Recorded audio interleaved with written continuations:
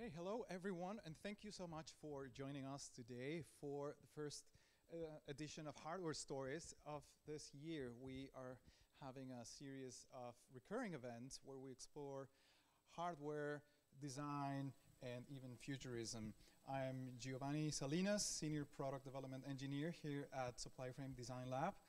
And, well, I think most of you know about the lab. I see a lot of familiar faces, which is really cool. Thank you so much for stopping by. I'll just give you the very quick definition or um, description of the lab, I should say. This design lab is a fabrication facility, and we explore um, product development, mostly on electronics engineering. We work with um, social um, objectives, social causes, and we also partner with uh, educational institutions for developing projects and, and workshops. Um, thank you so much for being here tonight. So for our first talk, we have the fantastic Poyu and Andrew. They are going to be talking about um, e-ink related projects, and I'll let them do the presentation. So thank you again, and welcome. Hello. Um, so yes, uh, Poyu and I are going to be talking about on a project that we worked on together and collaborated collaborated on. So it's a e-ink oblique strategies, and oblique strategies is quick background. It's a card deck that Brian Eno made in 1975 with Peter Schmidt, um, and it's supposed to. It's a deck of cards. I think it's like 130 so cards um, that e each have a saying on it uh, that help with creative blocks. So this originally came out in 1975. It's been reprinted a few times, mostly during the 80s, and I think like once during 2001, but it's been since out of print since then.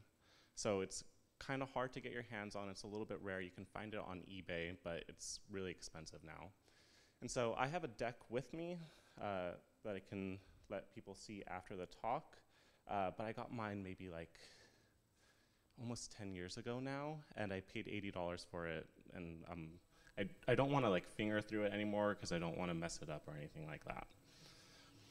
So some examples of what the cards are, you can see them here. So voice nagging suspicions, give way to your worst impulse, uh, remove specifics and convert to ambiguities, retrace your steps. So sayings like that uh, that help with creative blocks.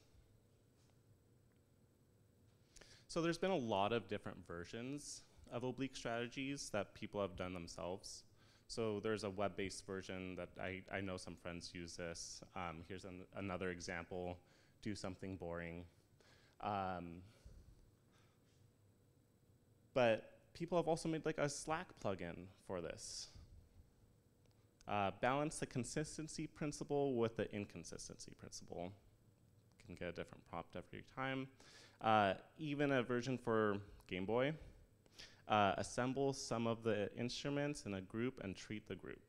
So you can see like it's a popular thing for hackers to, to make their own take on it. Uh, so here's some example listings of it on eBay. You can see it's not cheap anymore.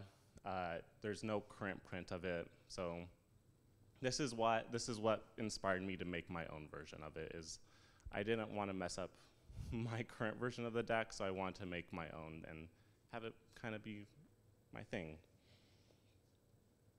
And uh, not gonna lie, part of the inspiration for this was I wanted to do something with e-ink. I think e-ink is a really interesting, cool technology. It's low power when it's when it's not changing, it's not taking any power. Uh, it's easy to read. It's not like a screen. I'm staring at a screen all day. I don't want to stare at a screen more when I'm not working. It's also nice to have an automated version of this to where it'll display a new card for me every day without having to actually flip through the deck. And it also just looks nice. It, I, I like the, the look of e-ink versus uh, like a, a, a OLED display or something like that. So I started pr this project back in 2019. This is the first iteration of it. So you can see I'm using a solar panel at the top here, and this is sitting next to the original deck of cards. So it was about the, the same footprint in size. So when I started this project, I had two things in mind. I wanted to use, well, I guess three things. I wanted to use e-ink, I wanted to use solar panel, and I wanted it to be about the same size as the deck of cards because I wanted it to be a replacement for it. So this is the current version. This is what it looks like now. You can see it looks different from what it was before. There's no solar panel from the front of the display. But if you look at the back, um, well, you can see another picture of the front here. Uh, always give yourself credit for having more than personality. And then on the back is a giant solar panel. Not giant, but. Uh, and then this is it next to the actual deck of cards. And you can see it's about the same size and footprint. So I, I have it here, and if you're interested, you can see it after the talk as well. And you can see it here compared to the deck of cards. So in the actual project, this is what we used for components. So you can see the grayscale e-ink, we used uh, grayscale because the monochrome updates faster than uh, the tricolor or any, any that incorporate color in it. Uh, very consciously use the ESP32, and that's because of its memory size. Uh, something like an Arduino would be really easy to use, but it doesn't have the memory storage to actually store all the quotes on it. So that was a limiting factor. Uh, and the ESP32 is very powerful while being low, low energy. Um, the lithium ion battery we'll take a closer look at in a little bit. Uh, and then you can see the solar panel, uh, and the battery recharger. And so for the list of components, it, to build the project, it's about $100 to make each one. So this is the battery that's, that's in this version. Uh, you can see it's pretty sizable for the application. So if we do some calculations, the ESP32, the dev board consumes about 100 microamps uh, per hour and then convert that to milliamps, divide that by the milliamps capacity of the battery. And this could run about 2.5 years, but that's not wholly accurate because you're not taking into account when it wakes up and changes the card and then goes back to sleep. But 99.9% of the time, it's running in that low power mode. So even if you cut this number in half, say it's a year, uh, it can run a long time without any sort of charge from the solar panel. So take into the, the consideration charging it from the solar panel, it can just run basically indefinitely. So I wanted to incorporate some sort of interaction into this. The way it works is it will update every 24 hours, and it's just a delay timer that'll draw a new card after that. Um, but I wanted some sort of way that the, the user could get get a new card with it without having some sort of button or like interactive on the outside uh, of the case. And I also just kind of wanted to use Mercury switches because I thought Mercury switches are such a cool thing. so I wanted an excuse to use this. Um, and then I found out that Mercury switches are actually uh, not legal in California to order. So they're kind of hard to get your hands on. You can't just order from Amazon or anything like that. So I ended up not being able to use mercury switches, ended up switching to a ball switch. So there's a ball switch in this to where if you invert it, it'll take a second and it'll display a new card. And so that's some way that I was able to incorporate some interaction to it without having a button or like some tactile thing. It's, it's for me, uh, I remember showing this project to a friend, and they said it reminded them of like a magic eight ball, where it it has like, like that playful quality to it. And so this is the way that a ball switch works: is there's this container, and if you invert it, the metal ball will make contact with those two prongs, and it's uh, wired directly to the reset of the ESP32, and it'll just reset that 24-hour timer. And so quick overall view of how the code works, what it does. Wakes up, selects a quote from the array of quotes. Uh, right now, there's currently about 180. Uh, the original deck of cards, I think, is maybe 160 quotes, and in the original deck, there's blank card, blank cards included, so that you can write your own. Took inspiration for that and added a, about 30 more quotes to that. Um, and then it'll print the quote to the e-ink, and then just go to deep sleep mode for 24 hours. Um, and that ball switch is not hooked up to the code in any way, it's just hardwired to the reset of the ESP32. And so during this, this is kind of an oversimplification of the uh, code. I had real trouble centering the text on the e-ink display, found that really hard to do, and also line wrapping when, when a quote is too long to print on a single line. And uh, I had no, I have no CAD abilities, so I couldn't design the enclosure. And so this is when I appro approached Poyu for help with the code and then also the enclosure. Uh, and we started collaborating on the project, he, and he ended up making kind of his own version of it. And so this is where he'll talk about his. All right. Um, yeah, so I was presented with a problem, and I think of different ways to kind of make my own. Like, I like Andrew's design. It's a little bit too thick for my taste, so I made a slimmer version and I also got rid of the solar panel, even though I like that idea. Um, but well, I'll talk into I'll talk into like how the power consumptions and stuff. Um, so my goal with this is you can put your own quotes, so you're not limited to whatever you first program it to do. So it's custom quotes, configurable. It should be easy to use and self-explanatory. Like it, it should be self-explanatory, and you'll see why. It should last on a single charge, so you just kind of set it and forget it. Um, I also use the ESP32S2. It's got a low power capability. It has native USB support, and it's very cheap.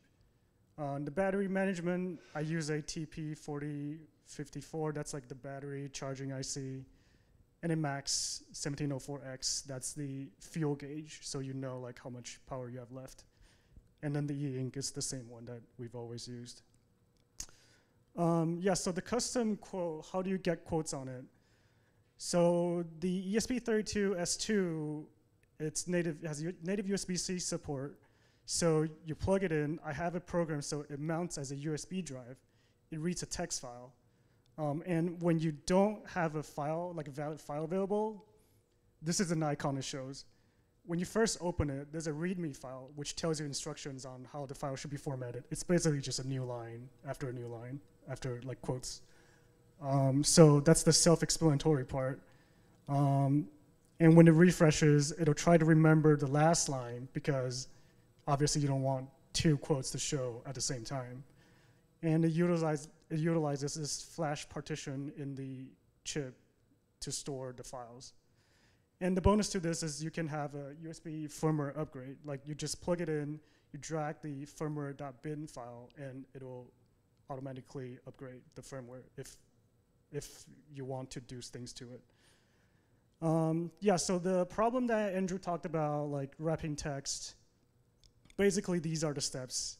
You want to calculate the text bounds, which I'll explain what text bound is, and try to break the, the whole string into different lines. And then you calculate how um, big that bound is, and then you calculate like where it is, it should be centered. And then finally you just draw it out. So what text bound is, basically if you want to display like these two lines, the text bound is the red um, rectangle. So the X and Y of this is the text bound. Um, and how do you do line wrapping?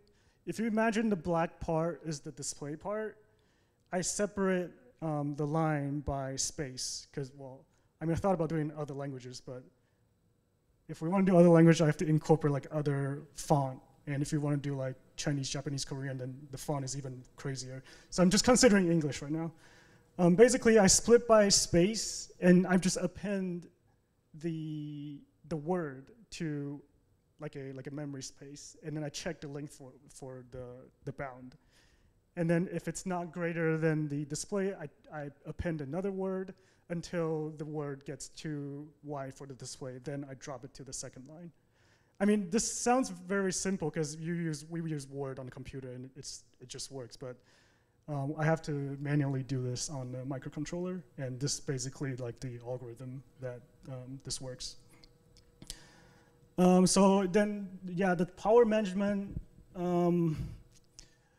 Well, I mentioned slow power, but like how low, right? So you, we need a way to measure the power consumption, and I found this um, device. It's called like a power profiler.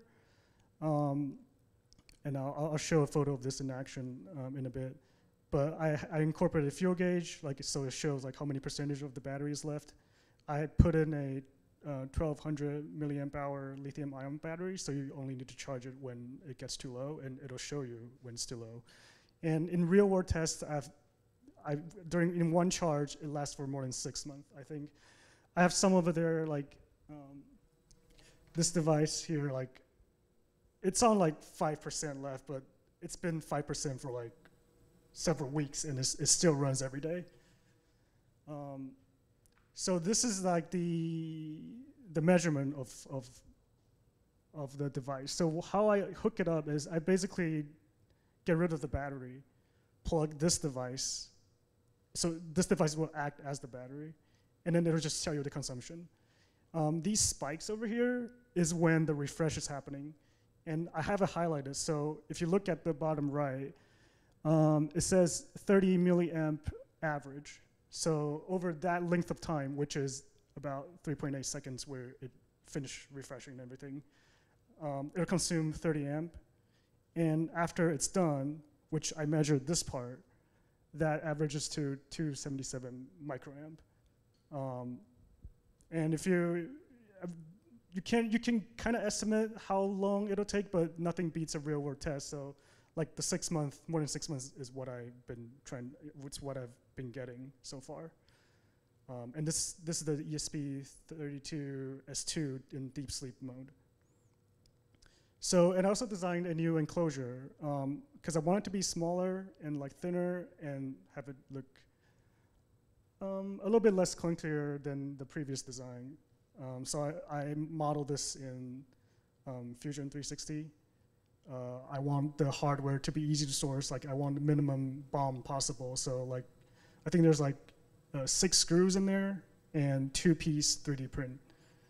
Um, yeah, so for the 3D print, I use a uh, material. So normally it's called PLA, but this one is from Protopasta. They make one where they have been mixed with like carbon fiber composite, so it looks really nice. And it's got like a matte finish instead of the normal layer line. It kind of hides the layer line. Um, it's two parts. And I'll, show you guys this after the, the talk. And then I made a custom PCB because I needed, I basically used three modules and I have it open, I have one open. I made a custom PCB that you, that um, kind of sandwiches all the components. So the PCB will handle um, the battery charger, um, the fuel gauge, and it will connect the display module and also the ESP32 module. Why I do this instead of just having it all on a single chip, uh, all on a single board, is because this was the lowest cost for the volume that I'm trying to make, which is like 100. Because um, if I want to do on a single board, if I order, say, 100